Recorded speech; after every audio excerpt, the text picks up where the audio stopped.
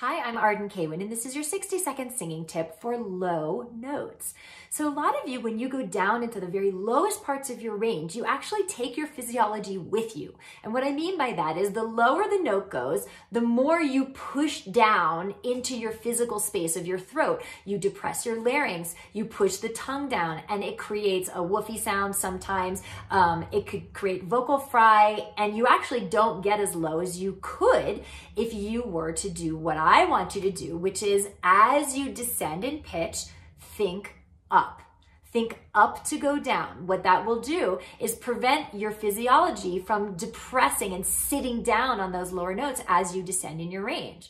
So as the pitch descends, pull up into the space between your ears, direct the energy of the sound right up onto your hard palate behind your teeth, and see what happens.